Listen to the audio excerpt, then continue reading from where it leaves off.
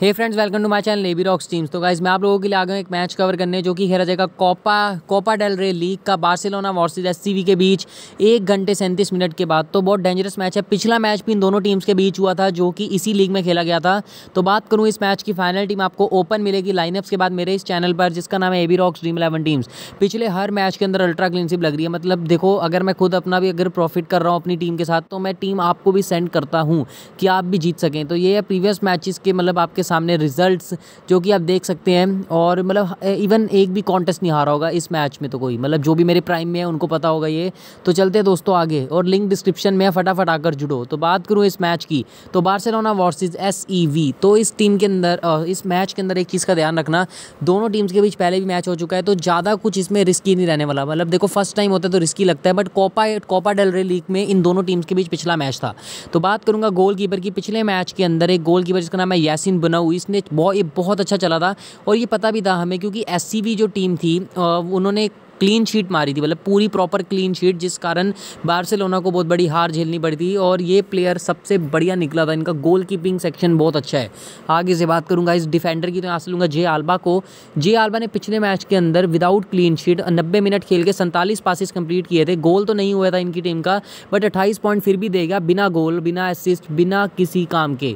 आगे से बात करूँ नेक्स्ट प्लेयर की, यहाँ से लूँगा ऑस्कर मिंग्यूज़ा देखो, मैं एससी मैं एस पे इतना भरोसा नहीं कर रहा आज के मैच में। मेरे को बार्सिलोना पे ज़्यादा भरोसा है, क्योंकि मेरी फेवरेट टीम है, एक तो ये और एक जुवेंटस जिसमें बड़े बड़े प्लेयर है रोनाल्डो और मेस्सी तो मैं आपको बता दूँ ओम इंग्यूज़ा जो प्लेयर है, ये मतलब देखो, एक नॉर्मल डिफेंडर है। अगर पूरी टीम जीतती है तो फ़ायदा देगा। और अगर पूरी टीम में अगर कुछ एक आधा प्लेयर भी गलत करता है, कुछ मतलब नहीं चल पाता तो पूरी टीम को लॉस झेलना पड़ता है। और आगे से बात करूँ नेक्स्ट प्लेयर की इसका नाम है जूल्स कॉन्डे तो इसने पिछले मैच के अंदर एक गोल किया था, जिसमें कि डिफेंडर अगर गोल करेगा तो इसको साठ पॉइंट मिलेंगे, और साठ पॉइंट बहुत ही ज़्यादा होते हैं। और आगे से बात करूँ नेक्स्ट प्लेयर की एस उमिटी मेरे पास क्रेडिट इशू भी नहीं था बट अगर होता भी तो भी मैं इस प्लेयर के साथ डेफिनेटली जाता।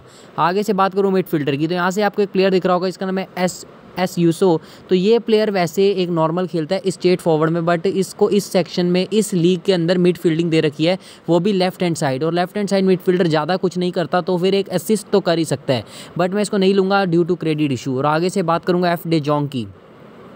पिछले मैच में मैक्सिमम लोगों का वाइस कैप्टन था एफ़ डे जोंग, जिसमें कि ये प्रॉपर फ्लॉप चला गया। मतलब देखो प्लेइंग एलेवन में भी था और सबसे बड़ी बात नब्बे मिनट पूरा खेला था बट एक भी शॉट ऑन टारगेट तक नहीं लगा पाया है प्लेयर और आगे से बात करूँ और डैम्बल की तो डैम्बल तो बहुत अच्छी फॉर्म में है, क्योंकि एक लीग हुई थी पिछले, अभी दो दिन पहले बार्सिलोना का एक मैच था। वो इस लीग में नहीं था नदर लीग क्योंकि आपको पता है बड़ी बड़ी लीग्स में ये टीम्स खेलती हैं।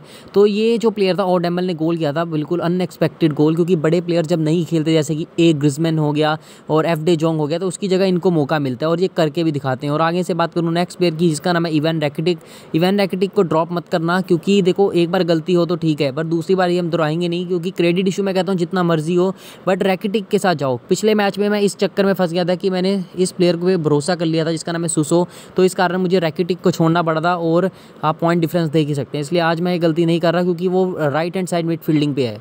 आगे से बात करूँ स्टेट फॉरवर्ड की तो लियोनल मेस्सी आपको पता भी होगा कि लियोनल मेस्सी गोल नहीं करेगा। एक बार एग्ज़ाम्पल दे रहा हूँ। जैसे आपको पता है तब भी आप इसको कैप्टन रखोगे। इतना भरोसा है मेरे को इस पर पिछले मैच के अंदर इसने चार बार गोल करने की कोशिश की थी बट चारों बार ये गोल नहीं कर पाया। मतलब शॉर्ट ऑन टारगेट में ऐड हो गया इसके पॉइंट गोल की बहुत कोशिश की थी मैसी ने बट हुआ ही नहीं। और आगे से बात करूँ नेक्स्ट प्लेयर की, इसका नाम है एंटो एंटोइन ग्रिजमैन एंटोइन ग्रिजमैन भी यहाँ से आपको अच्छा प्लेयर मिलता है और नाइन्टी मिनट पूरा खेलेगा ये भी आज के मैच में।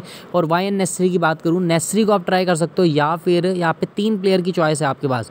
एक तो एल डे जोंग को तो मैं लूँगा नहीं। एल डे जोंग की जगह अगर एल ओकम पास होता तो मैं ट्राई कर सकता था और एक प्लेयर जो है, जिसका नाम है एल, एलेजेंड्रो गोमेज, ये भी अच्छा है बट मैं वाई एन नेस्ट्री के साथ रिस्क लूँगा बड़ा, क्योंकि क्रेडिट इशू है, पर क्रेडिट इशू मेंटेन कर लिया मैंने। आगे से बात करूँ कैप्टन वाइस कैप्टन की। कैप्टन रहेगा Lionel Messi and vice captain एक ग्रिजमैन तो ये मेरी टीम गाइज़ मिलता होगी वीडियो में।